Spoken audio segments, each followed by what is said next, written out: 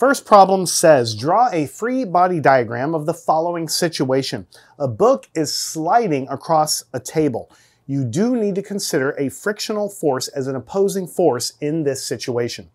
So just like everything, the hard work is involved in just understanding the situation. So let's first draw kind of a more complete diagram so that we understand what's really going on here. Here's some legs, and here is a tabletop, right? Something like this and uh, we have a, uh, uh, a book sliding across a table. So what we're going to do is I'll draw a big old fat book just so we can kind of see what's going on here. Now don't forget this book is actually moving. So it's moving to the right, let's call it, with a velocity v. It doesn't tell me right or left, but I'm just going to draw a picture as best I can and just envision it sliding to the right. Now, first of all, think about your everyday experience. You push this book to get it going, but there's, after the moment that you let go, you're no longer pushing on the book, but it is still moving. And as it slides across the surface, there's rubbing, uh, which is, uh, generates friction, which then opposes the motion and slows it down, and eventually the book will come to a stop. Once the book comes to a stop, or maybe it slides off the table, but assuming it comes to a stop, when it's not moving anymore, there's no more frictional force, and there's no more pushing force, so then nothing is happening, it's just sitting there. And it's in what we call equilibrium, nothing is moving anymore the word equilibrium means everything has uh, kind of reached the uh, steady state and uh, nothing is changing any further. That's what it basically means, okay? So let's do our best. This is not the free body diagram, but let's do our best to at least draw some of these forces that are acting on this guy, okay? Now we know that there is no pushing force. I'm not pushing it anymore because it just says it's sliding across the table. So we're not gonna have a force of pushing. The, that has already happened in the past. Now it is just sliding. So there is no force really pushing it this way. That's already been happening. But since it's moving this way, we know that there has to be some frictional force acting in this direction. So we'll call it F sub F. It's a vector quantity. So because the frictional force is in opposition to the velocity, it's going to start to slow it down and hopefully it'll reach a stop right before it falls off the table there. All right. What other forces are acting on this uh, block here? Well, we have the force of gravity, right? And the force of gravity is, uh, or the, the weight is mass times gravity. That's acting on the block. And then of course the block is pushing into the table and the table in turn is pushing back into the block. So that's another force acting on the block, which is going up. And that force is called the normal force, acting and going in the up direction. But notice this situation is different than the last problem. Here we have like an unbalanced situation. We do have an up and a down force, and, and these look, uh, we'll talk more about it, but they look to be uh, uh, equal and opposite because the block is not moving up or down, but there's an unbalanced situation here. And that means because there's an unbalanced, uh, an unbalanced uh, force in the x direction, there must be some acceleration, right? So let's kind of like do a little more work and see if we can figure out what that acceleration is, or even is there really an acceleration in that direction? So let's translate this diagram, which has a lot more information in it, to a true free body diagram, which we will draw over here. So what we do is we draw the same book, but now we remove the table, it's gone. We remove the planets, the stars, the galaxies, the air, everything is gone. The only thing we care about is this. All right, and then we know that acting down is a weight here, which is mass times gravity. And we know that acting up, acting upwards is a force which we call the normal force. So this is a force, the earth is acting on the book, pulling it down. And this is a force where the table is pushing up on the book. So these are two forces acting on the book. So that's why they belong in the diagram. All right, and then we have a force pointing to the left, which we call the frictional force, like this. But there is no there is no force pushing to the right because that book has already been released from your hand, and at that moment there is no force going in that direction. So let's, uh, this is the free body diagram, but let's see if we can uh, learn a little more about this. Let's talk about the x direction. In the x direction, and then we're going to talk about in the y direction. Now let's actually look at the y direction first right? Because this is very common, right? The y direction. So what do we have? The sum of the forces in the y direction is equal to the mass times the acceleration in the y direction. But what are the sum of the forces in the up-down direction? Up is positive, down is negative. So we have N minus mg so this is the normal force minus gravity, the minus because this is a downward acting force, and this is equal to the mass of the book. We don't know what the mass is, so we just put m there. And what is the acceleration in the y direction? Well, this book is sliding this way. It is uh, moving in that direction, there is no acceleration in the up-down direction, and so the acceleration in the y direction is zero. So since zero is on the right, uh, I have m, or n, minus mg, is equal to zero, and the normal force is equal to the mass times gravity. Just add this to both sides. So what we have figured out is that because this book is not accelerating up or down, the upward normal force must be equal to the weight, exactly balanced. And that is the reason why the book is not accelerating up and down because these two forces are in balance with each other. All right, so this makes sense. Now let's walk over here and talk about in the x direction. So we need to do the same kind of thing. The sum of the forces in the x direction is equal to the mass times the acceleration in the x direction. But there's only one force acting in the x direction, and negative x direction is this way, positive is this way, so this frictional force is really a negative number, negative f uh, sub f is the uh, frictional force negative because it's acting in the negative x direction, is equal to the mass uh, of this thing, uh, times whatever acceleration it's undergoing. And here we don't put zero here.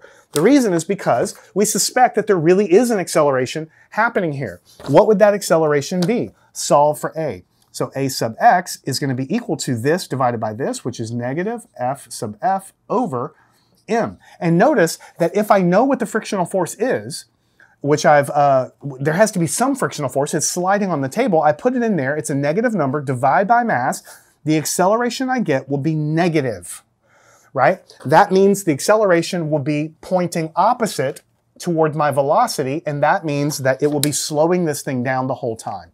So because the force is acting to the left and the velocity is to the right, this thing is sliding to the right, then the acceleration is going to be acting this way, slowing it down. So that means the book will be going this way and then slowing down and then eventually reach a stop.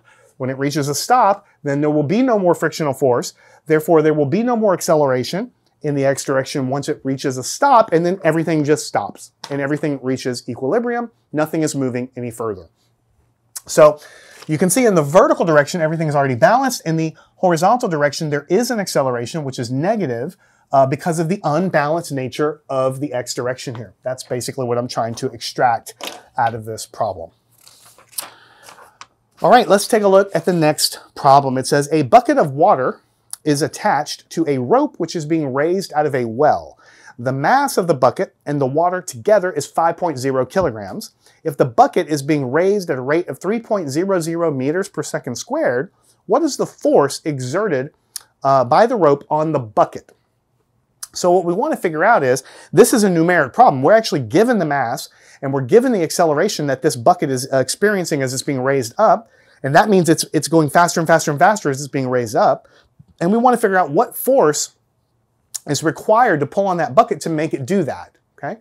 So we need to draw a free body diagram, but in the beginning, it's going to be easier probably to draw the whole thing before we draw the actual free body diagram. So this is some kind of a well, very deep well, you know, something like that. There's like water in the bottom of it or, you know, however you want to visualize it. And there is some bucket that is basically down here, uh, like this. You could call some kind of bucket or something like this. All right, now this bucket is attached to a rope, which is coming up like this, and so on. So what, what information can we put about this? Well, we know that the mass of this bucket is equal to 5.00 kilograms. That's given to us. And we know that this bucket, I'll just kind of draw it off to the side, there's an acceleration of this bucket, which is 3.00, little dot right there, meters per second squared. So this bucket is accelerating, it's not going at a constant velocity, it's actually speeding up as it goes up, right? So we know that there is a rope connected to this bucket, and because of that, there is some force acting on this thing. So I'm going to call that force the tension because it's, we usually use the word tension when it's a force that is being applied through a rope. There is tension in the rope. So there's tied here and there, I'm drawing it as an arrow and there's some tension T there. But acting Contrary to that is the weight of this bucket, and the weight of this is mass times gravity. So you could say weight is equal to mass times gravity. So you see this diagram has a lot of other stuff written here. It's got numbers, masses, and all the other stuff. And so if you want to simplify the diagram, really drawing a free body diagram would look something more like this. Just simplify things into a bucket, which is a simpler looking bucket. And then you just have a downward force acting on this bucket, which is the mass times the gravity, which is the weight of the object. And then you have some force in the upward direction, uh, which is the tension. You can call it F if you want to, but I'm just going to call it T for tension. And that's it. This is the free body diagram. You see how simple and elegant the free body diagram is. You dispense with the well. You dispense with the water if you were to draw water here. You dispense with anything else. You focus on the object, make it as simple as you can, and the force is acting on the object. Earth pulling down with a weight, tension in the rope pulling up with some T. Okay? Now, I subconsciously drew the arrow for the tension bigger than the weight because I know that this thing is accelerating upward.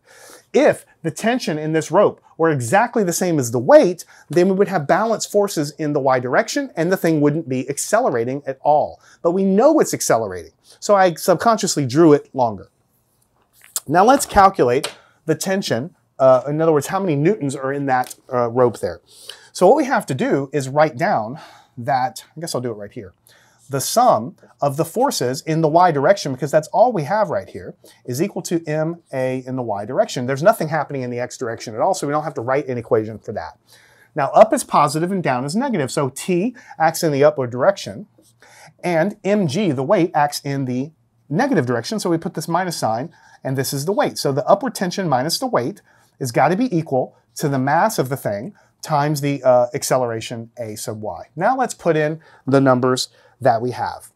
So the mass of this thing is five kilograms. So I'll put uh, five kilograms. And then we have 9.8 meters per second squared. We have kilograms, meters per second squared right there.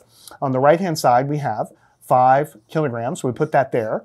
And a sub y, we know that it's oriented upward. It says it's uh, uh, upward, so that means it's positive and it's 3.00 meters per second squared. So we have to make sure that we have the right units. This is meters per second squared and these are in kilograms. So everything's right, so we're going to get newtons at the end. All right, so 5 times uh, 9.8 gives us 49. Whoops, I need to have not an equal sign here. This is a minus sign. And what we're going to get is 49 here. And then on the right-hand side, 5 times 3 is 15, so you can just put 15 right here. And now we want to solve for the tension. All we do is we add 49 to both sides. So 15 plus 49 works out to be uh, 64 newtons. And notice we get a positive number here because any forces that have positive numbers are acting up and any forces that have negative numbers are acting down. That's why we had the negative sign right here. So we get an answer of positive 64 newtons, which means the tension in this rope, which means the force acting in that rope is positive 64. Now let's go back through it and make sure it makes sense. We know the bucket is actually not only moving upward, but accelerating upward. So since F equals ma, there has to be a net force acting up on the object to make it accelerate up, which we know it is from the problem statement. So if this really is 64, uh, which is what we calculated, and the 5 times the 98, that's mg, so it's 49 newtons of weight downward, 64, uh, 64 newtons of uh, of, uh, of weight in the, uh, I'm sorry, tension in the up direction. So we have an imbalance. We have a larger force in the up direction compared to the downward direction. There's a net force in the upward direction is what I'm trying to say. And that net force is what gives rise to the uh, acceleration in the up direction. So when you do these problems long enough, you get very good at identifying what the forces are. And you get very good at knowing only with practice, okay? You get good at knowing what to expect. The problem says this thing is accelerating upward. In your mind, you start learning Newton's law and you realize that F equals ma. If there is an acceleration, there must be a net force also in the same direction, the up direction.